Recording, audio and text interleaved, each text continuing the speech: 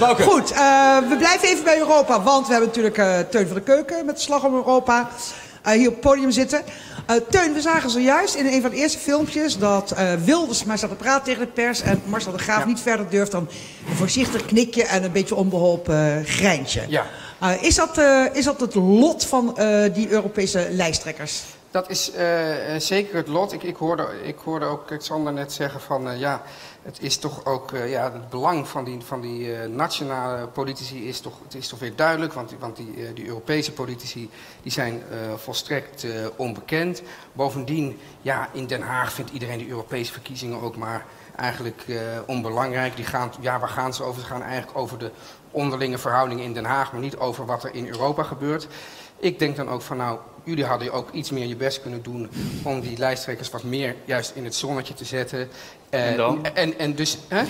Nou, kijk, jij zet... Hij wil het dan niet eens, de, de graaf. Nou, ja, de graaf wil het niet. Maar het gaat erom, dus, dan heb je een soort, soort, soort lijsttrekkersdebat op een hele mooie locatie, maar in een hele treurige grot. En, en dan verder... Uh, en dan verder... Chateau neer kan, meneer. Sorry? ja, maar dan in de grot. Ja, omdat daar het eh, akkoord was, verdrag was getekend. Maar goed, het, ja, televisiemaat was natuurlijk een, een, rampzalig decor. Maar goed, en, even, we gaan even door. Die, die, het lot van die lijsttrekker. Ja, dus het is het lot van de lijsttrekker, uh, mede geholpen uh, door de NOS, denk ik. Maar... Uh, in ieder geval... Meneer, meneer Van de Keuken, het is echt, u heeft nu de jury dus gebruskeerd. U heeft een pellet... het enige wat er ontbreekt is dat u nu ook de zaal tegen u zegt. Maar gaat u door. Gaat u door. Nou ja, ik, ik dacht nee, dat nee, we nee, gewoon over... Nee, Teun, laat je, laat je niet afleiden. Ja. Ik bedoel, uh, als je straks allemaal haten, dan kom ja, ik troosten. Ja, maar als je de media de schuld geeft, dan scoor je de zwijgen, de zwijgende, Die zwijgende lijsttrekker, Kijk, hebben we dat dus, vaker gezien? De, ja, we hebben het vaker gezien. Want bij de vorige Europese verkiezing hadden we diezelfde Hans van Balen die we net hebben gezien. Die had, nou, er was, ik weet niet of je het nog herinnert, maar iedereen had zogenaamd een goede uitslag gemaakt. Uh, de VVD had één zetel verloren en dat was één zetel minder dan verwacht. Dus dat moest gevierd worden. En... Uh, dan zien we dus dat Hans van Balen was de lijsttrekker. En uh, uh, op een gegeven moment wordt hij dus uh, ja, eigenlijk naar voren geroepen door, door Mark Rutte. Ik hou de spanning. En dan, dan krijgt hij op een gegeven moment ook een microfoon. En wat gaat hij zeggen? Of gaat hij überhaupt wat zeggen? Laten we, we gaan er naar kijken.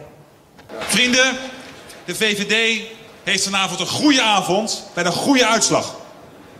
Als je kijkt naar de peilingen van de afgelopen weken, doen we het veel beter dan iedereen had verwacht.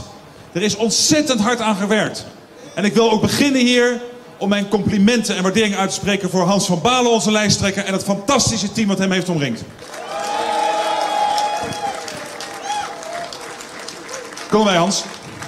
Hans, dit is echt grote klasse. Je bent het hele land afgewezen. Niet alleen jij, alle kandidaten voor de VVD, alle 30 zijn het land doorgereisd. Jullie hebben ontzettend veel gedaan. Jullie zijn overal zichtbaar geweest en dat is enorm gewaardeerd. En ik ben blij wat ik de afgelopen dagen op straat hoorde. Dat heel veel mensen zeiden, wij gaan gewoon VVD stemmen aanstaande donderdag. Dat ze dat ook hebben gedaan. En dat we daarom hier vanavond met elkaar gewoon een mooie avond hebben.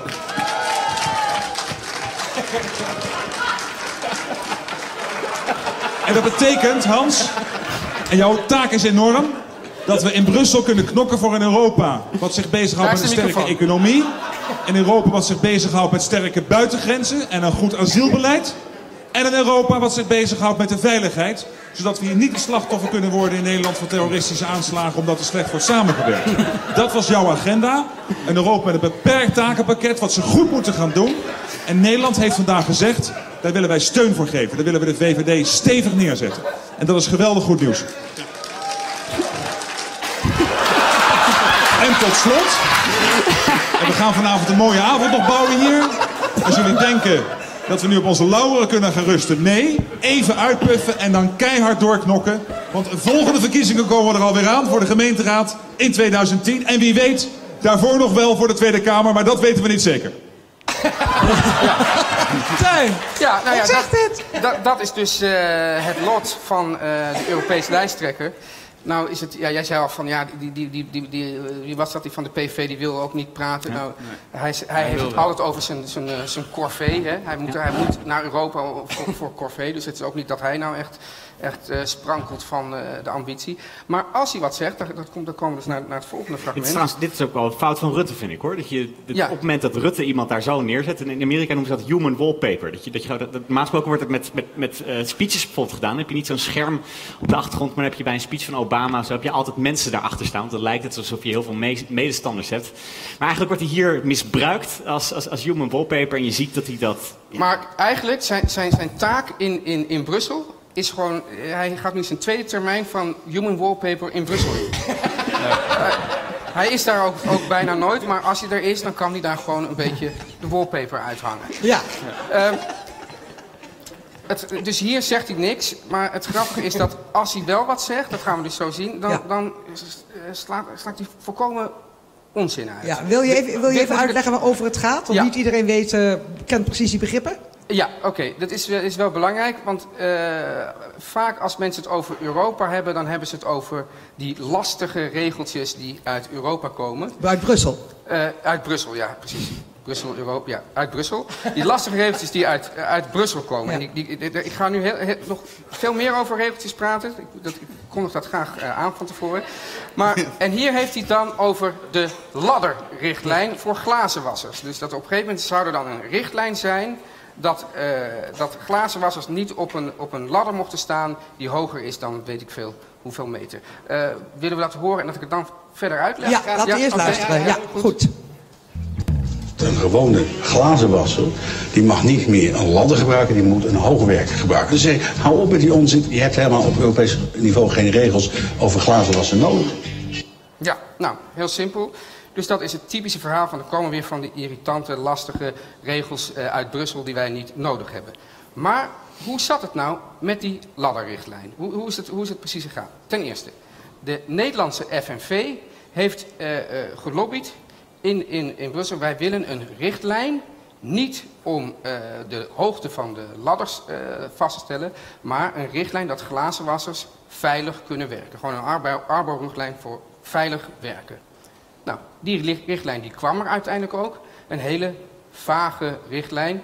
En we, we, ik ben ook in, in, Brussel geweest. Echt letterlijk het Europees parlement wordt daar nog gewoon op een hele hoge ladder uh, geglazen ja, Je kon er dus alle kanten mee op met de richtlijn. Daar kon je alle kanten mee op. Maar wat is nou het geval? Nederland houdt van strenge regels. Wij houden meer van strenge regels. regels. We houden van regels en we houden van meer van uh, regels dan de rest van Europa. En dus heeft in Nederland hebben ze bepaald, nee, er moet niet gewoon een, een, richtlijn komen voor veilig werken. Er moet een richtlijn komen die bepaalt hoe hoog de ladder moet zijn. En wie heeft die richtlijn hier ingevoerd in Nederland? Nou? Toen nog staatssecretaris Mark Rutte. Ja, wacht even. Ho, ho. Ja. Hij zegt dicht bij me, ik behoorde hier wat gemorrel. Ik dacht Hans van Balen dat hij ging zeggen. Ja. Nee, oké. Okay. hij ervoor ja. Nee, maar het was een VVD'er. Het was een VVD'er ja. die altijd roept van dat is jouw verhaal. Ja. die altijd roept van, ze zijn veel te streng aan Brussel, maken we zelf wel uit. En zij maken het zelf nog strenger. Je hebt, heb je nog een leuk voorbeeld? Ja, ik heb het nog, ja, heel goed. Uh, dank je voor uh, deze opzet. het, het, uh, de man in, in Den Haag, die, nou ja, behalve dan, dan Wilders, maar de man in Den Haag die zich altijd eurosceptisch opstelt, is Mark Verheijen van de VVD. Uh, het is grappig uh, dat, dat, dat zijn partij intussen... Mag nee, die lopen de zaak vooruit. Nee, dat moet je zo meteen doen. Ja, ja. ja dankjewel. Uh, Mark Verheijen, die, die, die, die, die keerde zich niet... VVD'er. VVD, die keerde zich niet tegen de ladderrichtlijn... maar die richtte zich tegen de stofzuigerrichtlijn. Maar laten we even het volgende doen. Ja. Mark Verheijen, prominent ja. VVD-lid, Limburger... Ja, was vicevoorzitter zelf van de VVD. Ja. Um, Tegenzuigen. Wat zeg je? Nee, nee. nee maar ik vind het wel... Hey, wacht even, Martijn. Martijn, ik vind dat verhaaltje... Want juist Mark Verheijen, die verzet zich altijd zo verschrikkelijk tegen alles wat er uit Brussel komt. Dus maak even heel snel je stofzuigerverhaaltje af. Maken we jou, brengen we jou in de war? Ja. Dat is je eigen nee, nee, nee, jongens, eh, het gaat allemaal prima. Dank neem de regie weer over. Ja, ik neem de regie weer over. Dus, die richt zich tegen de stofzuigerrichtlijn. En die richtlijn die zegt dat, uh, dat, er, uh, een, 1600. dat er een bepaald uh, maximum is aan het wattage van stofzuigers. Nou, ten eerste, die stofzuigerrichtlijn, waar komt die deze keer van? Van het bedrijfsleven. Het bedrijfsleven heeft in Brussel gelobbyd, want die zegt, wij, moeten, wij willen over de hele wereld willen wij stofzuigers verkopen. Uh, en, en, ook in heel Europa. Het is razend irritant dat ze overal andere richtlijnen hebben. Eén richtlijn voor heel Europa. Zou je al zeggen, bedrijfsleven, achterban van de VVD, zou je zeggen. Dus dat is, dat is uh, punt 1. Dan is het zo dat de partij, dat de VVD in Brussel voor die richtlijn heeft gestemd. Dus Mark Verheijen die zegt in, in Nederland, we moeten af van dat soort regels. Maar in Brussel stemmen ze ermee in. En dat is dus, dat is dus een fenomeen dat ik, dat ik, uh, dat ik uh, vaker heb gezien.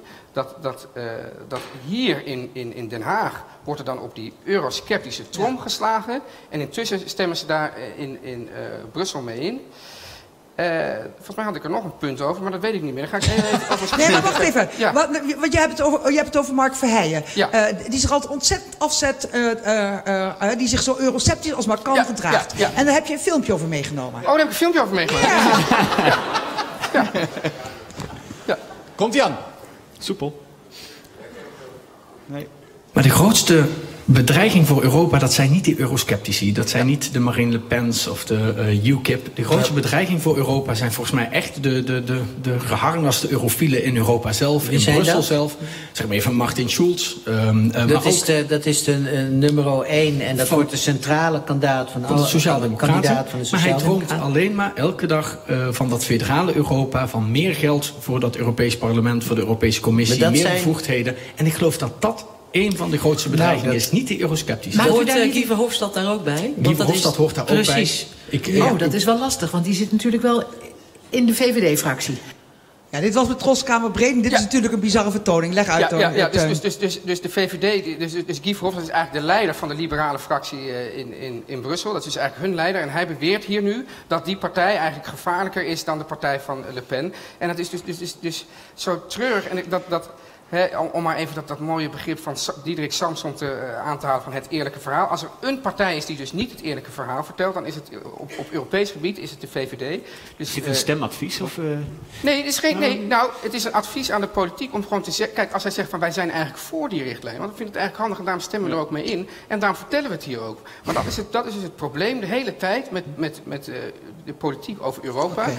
Het, het ene probleem is dat de... de nationale politici, dat vind ik dus een probleem. Dat die de hele op de voorgrond treden. Dat die dan een, een, een van, nou, we zijn daar eigenlijk allemaal maar tegen. is het niet zo dat onze nationale politici, bijvoorbeeld Rutte en Dijsselbloem en alle ministers, die, dat die veel meer te zeggen hebben dan al die leden in het Europees parlement die we mogen kiezen? Het gaat erom dat we, dit, dit is, dat we zitten in, in campagnetijd en dan wil je weten van, nou oké, okay, wat gaat er dan, daar dan gebeuren? Ja, maar als wij gaan vertellen bijvoorbeeld ja. wat er precies gebeurt en hoe belangrijk het Europees parlement is, dan komt er niemand meer. Bij, op het gebied van dit soort... Okay. nee, wacht even, wacht even mensen. Ho, ho, ho. Okay. Wacht Sander, even, want... Sander, uh, als dit de afweging is bij de NOS... Nee, nee, nee, nee. Ja. nee maar even goedemiddag, hé. Hè? Nee, wij, wij, natuurlijk vertellen wij zoveel mogelijk wat er... Zoveel mogelijk, zoveel mogelijk de waarheid, maar als nee, het kijkers kost, dan ietsje minder de waarheid. Nee, maar dat is helemaal onzin. Oh. Nou ja, ja. Nee, nee, dit is een, gewoon een samenvatting van wat ik hier hoor. Nee, het gaat erom of het nuttig is wat je erbij vertelt. Oké okay, jongens, het is een, uh, dan gaan we een andere keer ja, uh, gaan we een hele junkie-avond aan het falen van de publieke omroep uh, gaan we het over hebben. Uh, jij was dat, aardig bezig. Ja, ja, ik, Hallo, jij was ook van de, teun, hij is van de publieke teun, omroep. Hij werkt voor de publieke omroep. Hij maakt een programma over Europa. Oké, okay, okay, maar zit die vrees terug in de kooi? Oh, Oké, Teun ja. was al aardig bezig uh, met de aanval op de VVD om de trofee uh, terug te verdienen, had ik de indruk.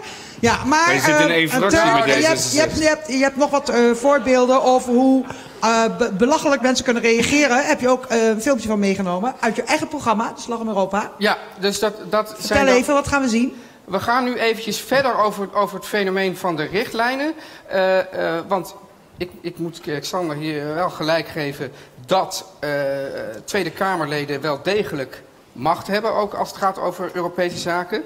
Het punt is alleen dat die Tweede Kamerleden dat of zelf niet weten, of dat ze doen alsof ze het niet weten. Ik weet zelf nooit wat erger is, maar het is sowieso erg. Oké, okay. dus, ja. kijken. Filmpje. Het zijn iedere keer die richtlijnen van de Europese Unie... Ja.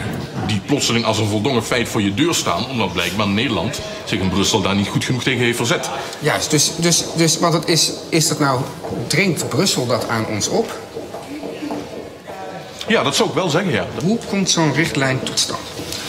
Ja, daar gaat een enorm lang proces aan vooraf. En het probleem is dat wij dus helemaal aan het einde van het proces zitten. Ja. En daardoor ook... Um, ja, het zit dan vaak al zo dicht getimmerd aan het einde. Dan zijn er al uh, vele lobbyorganisaties uh, overheen gegaan in Brussel. Ja. Ja. En um, ja, wij kunnen eigenlijk vaak heel weinig hieraan veranderen. Ja, Dus dit is natuurlijk een ontzettend uh, treurig verhaal. Er is net het, het uh, rapport uh, uitgekomen van meneer Leegte. en die zegt van, ja, hoeveel, hoeveel, wat, wat kan de Tweede Kamer nou eigenlijk? En uit dat rapport, hij had ook gewoon naar deze uitzending kunnen kijken... hadden we dat hele rapport gewoon niet hoeven te schrijven. Ja? Maar wat blijkt dus, de Tweede Kamer heeft ontzettend veel macht. Want de, ja, natuurlijk de, de, de ministers die, die vergaderen met elkaar in Brussel... die ministers die kunnen met een boodschap weggestuurd worden. En vervolgens kunnen ze, kunnen ze daar, kunnen, hebben ze hebben een soort mandaat... En dan kunnen ze op gecontroleerd worden. Maar wat doen deze Kamerleden? Doen alsof er opeens uit Brussel, bam, valt er een richtlijn uit de hemel. Dat is niet zo. Maar zij doen hun werk niet goed. En eigenlijk zeggen ze dus hier uh, dat ze hun werk niet goed doen. Dat is heel ongelooflijk tragisch eigenlijk. Oké, okay, nou ik kan me voorstellen dat jij... Om, om, ja? Nee, Teun. Martijn. Geen, nog één? Ja, maar die slaan we over. Nee. Ja, ja die slaan ja. wel over. Oh. Maar Teun, kan jij dan misschien tot slot dan nog even in minder dan 30 seconden vertellen waarom het belangrijk is dat we gaan stemmen voor het Europees Parlement? Nou ja, nou, in, ja, kijk. Ja, ja. Ja, ja. Het is natuurlijk een... Nee, wacht even. Dit is een he hele goedkope uh, uh, truc. Nee, ja, hallo. Want... Je hebt net allerlei verwijten gemaakt. Nee. En wij, wij hebben niet een programma van uh, een nee, half daarom. uur dus over jou, Europa. Dus jouw taak is, en jouw kunde is ook om dingen in minder dan 30 seconden te vertellen. Dat is mijn taak niet en dat is mijn kunde ook niet. Okay. Dus ik verwacht van het NOS-journaal en, dat zij ja, in minder dan 30 seconden dat vertellen. Okay. Ja, maar dat is geen antwoord op de vraag. Nou, dit klinkt, dit klinkt alsof je het Dat niet is geen antwoord op de vraag, Teun. Okay, nou, nee, dus ik zeg dat kan ik niet. Oké. Okay. Okay, maar, maar wat, wat, is jouw antwoord dan? Nee, nee, nee. Hey, hey, hey, ja. Jongens, jongens, jongens. Jawel, jawel. Dat heb ik net al gegeven. Hoe meer je erover... Het maakt eigenlijk niet zoveel uit. Oh nee, dat is een goed antwoord. Maar dat is in twee seconden. Het maakt gewoon eigenlijk niet zoveel uit. Dat moet ik wel meegeven. Ja, ik denk dat het Nee, ik meer een peiling jou- is. Ik voor de jou- landelijke politiek, voor Stilte. partijen. Hoe die partijen denken over Europa en hoe die dat meenemen. En hun invloed aanwenden vanuit de Tweede Kamer, vanuit het kabinet. Maar meneer Van der Wil, het is natuurlijk wel zo, als Ja. u die gedachtegang al heeft... en ik ga ervan uit dat die breder leeft binnen de NOS-redacties... dan kan je toch ook niet van een gemiddelde, eh, gemiddelde stemmer verwachten... dat hij dus wel Nee, maar een zelfs iemand geïnteresseerde die blik is- naar Europa heeft. Zelfs iemand die ze, eh, al zijn eh, werkuren eraan mag besteden van de publieke omroep... kan niet uitleggen waarom het belangrijk is Oké, stop! stemmen. Klaar! Nou is het afgelopen! Jij je hop, jij ook. Ja, Klaar! wij, gaan, wij gaan naar het volgende We gaan naar het item. volgende. Martijn, hop. Ik heb al gezegd dat dat onderdeel van de bar belangrijk was. Nu begrijpt u waarom.